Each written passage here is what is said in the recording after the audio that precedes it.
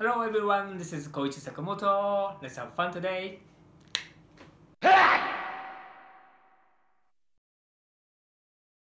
So restrictions for the shooting on the virtual set for uh, Ultra Galaxy Fight is uh, uh, because uh, uh, we're shooting against the green screen, then uh, you have to be sort of rely on your imaginations because there's no sets or no laser beams or no explosions, anything like that.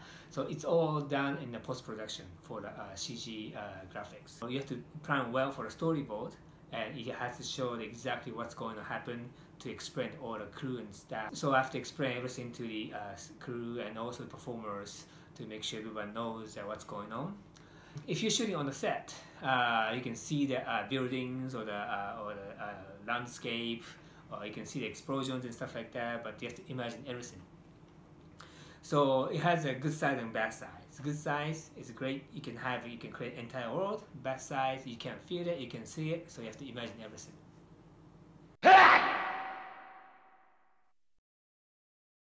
Ultra Galaxy Fight, its uh, uh, story is based on what's happened in the uh, Land of Light, Ultraman's uh, planet.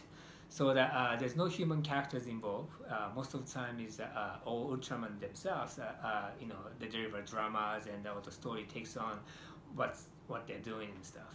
So I do miss uh, uh, human characters or actors, their smiles and everything. Uh, but also I have a great fun working with all the guys in costumes just because that's what my background is. I used to be a stunt performer for a film and TV series. I used to perform as a superhero when I was younger too. So I know exactly what's going on and I feel like home, you know, working with these guys. So that uh, it's a different kind of fun, working with actors, working with the stunt persons. Uh, so I still have a, a lot of fun with them. So this is a very difficult question. My personal favorite Ultraman is a lot of my personal favorite Ultraman is out there. Um, I do have a very strong attachment to the Ultraman Zero and Ultraman Geed, just because uh, I introduced them. I also Ultraman Victory. But uh, my all-time hero Ultraman is uh, Ultraman Leo, because uh, when I was young, I saw him on the TV for the first time.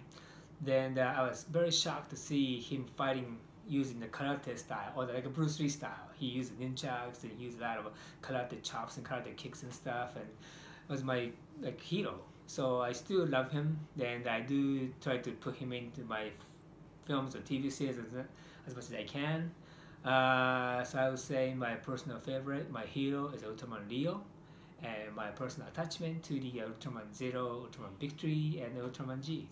And my favorite kaiju is a very difficult question too. There's a lot of good kaijus out there. But uh, when I was little, the, the kaiju gave me most impact was uh, just because uh, uh he went, you know, uh, Ultraman almost died. So I was first time I saw the show, uh, last episode of Ultraman. It's very shocking because I, you know, you don't really, you know, imagine your hero lose by a kaiju. So the Zetton gives me a very, very big impression back then, and still does. So I still scared of him. so yes, uh, my favorite uh, is maybe Zetton. Hello everyone, uh, Ultra Series next year will be 55th uh, anniversary. Uh, it's a long time going series and uh, I hope you enjoy the new ones, old ones. There's a lot of different choices out there uh, I do enjoy them. I do enjoy making them. I do enjoy watching them. So I hope you guys enjoy too. We are right in the middle of shooting a brand new Ultraman series called Ultraman Z. Uh, I hope you guys will enjoy the new heroes, new Ultraman. He's a, student of the Ultraman Zero. And we also have a robot team. It's like Sevenger, uh, Windom.